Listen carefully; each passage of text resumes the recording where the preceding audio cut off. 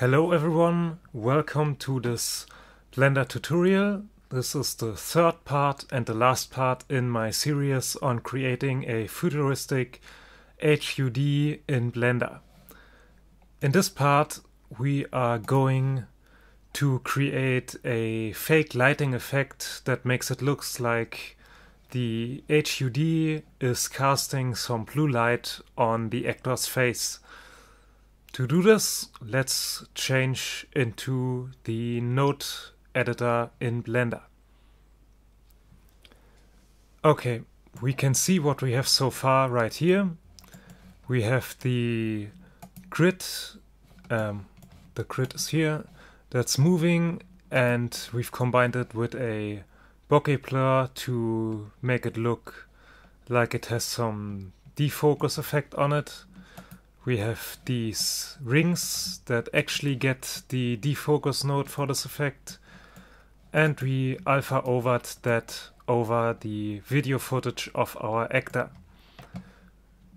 To get a blue tint to the actor that has a look of light, we add a mix node and set it to, let me maximize the screen, let's set it to soft light and now if we input our footage of our actor and change this to blue, it looks like like there is some blue light on his face. But of course we don't want it all over his face. I mean, we could see how this looks like, but that's not too good. So we are going to mask out some parts of his face where we want the light to be, or not to be, to be more exact. To do this, we could change to the video clip editor and use the masking tool, but for a very simple elliptical mask, there's actually under matte nodes, we can insert an ellipse mask or a box mask if we wanted that, but I'll use the ellipse mask. And you can see here, it overlays this um, this box over the image to indicate where our ellipse will be. If I select it, we can see what the ellipse will look like, and we can rotate it. We make it bigger, smaller. And now we adjust the size of this ellipse to roughly match his face. And by the way, if you drag around these sliders, if you press shift, you can make much more precise adju adjustments to what you are doing increase the width and move it down.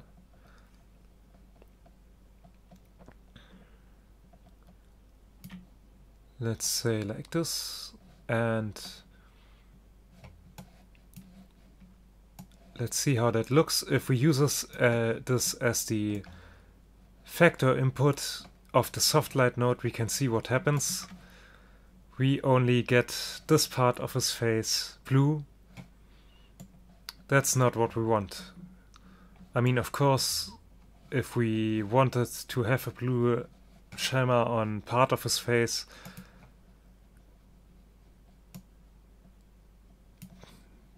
maybe I've done something uh, similar to that with a green shine on his face in the final product that I've uh, shown in the introduction to this video.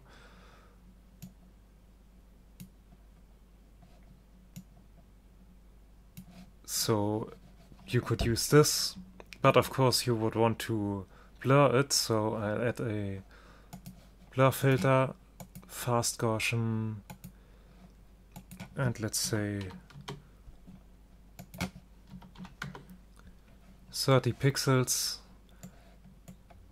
And with this we could have blue casting on part of his face. Let me jump through the timeline to see how this matches up. We can see only his one cheek gets always affected by light and when he turns his head he moves more into the light or out of it depending how he's moving. But back to the first frame and back to the center. As I said, I want the um, I want the blue light to be on the outer edges of his face, so I will adjust my ellipse to that. Maybe move it down a bit.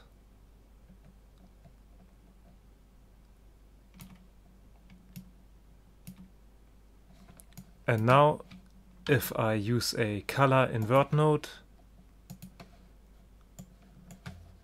I get this result and his face has a blue shimmer on the edges and only the center is completely normal colors.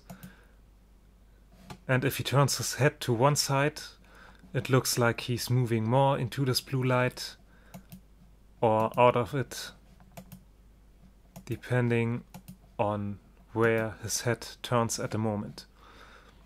And I think that's a pretty nice effect.